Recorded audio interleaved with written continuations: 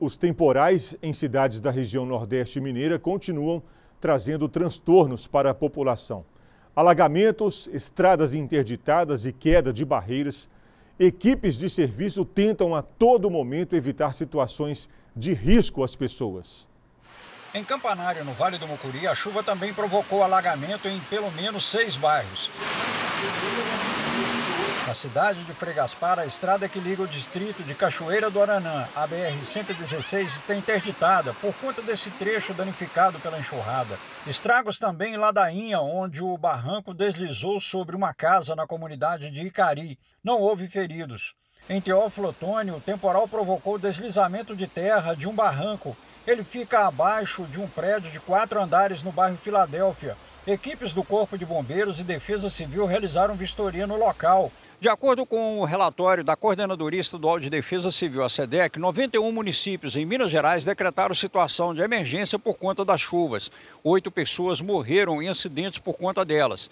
Nas rodovias de Minas, o problema também é crítico. No caso da MG 105, no Vale do Mocuri, entre Pavão e Águas Formosas, a rodovia está interditada e as equipes do DR trabalham para recuperar o trecho e liberar o trânsito. Na BR-116, no bairro São Cristóvão, parte da pista ficou interditada pela terceira vez em um mês por conta de barreira.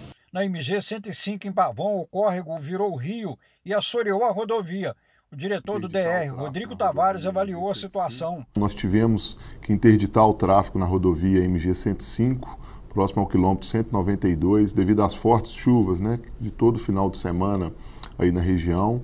É, um bueiro entupiu e nossa pista se reduziu a menos de 3 metros.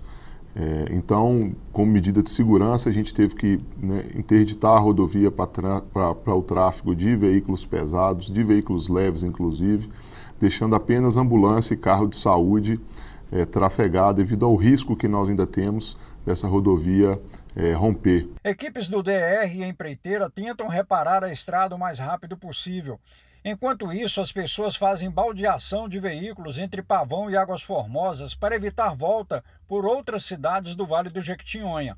Em Salto da Divisa, uma erosão no quilômetro 18 da BR-367 foi eliminada, com manutenção feita pelo DENIT. Outra estrada liberada foi a LMG 614. No sábado, conseguimos já liberar o trânsito para todos os veículos é, voltando o acesso para Divisópolis. A obra ainda não foi concluída, a gente precisa de fazer estudo de sondagem, de topografia, para determinar com mais precisão qual que vai ser a solução é, para a gente poder resolver o problema de forma definitiva, mas já estamos trabalhando nisso e o tráfego já conseguiu é, se normalizar, dando acesso aí a Divisópolis.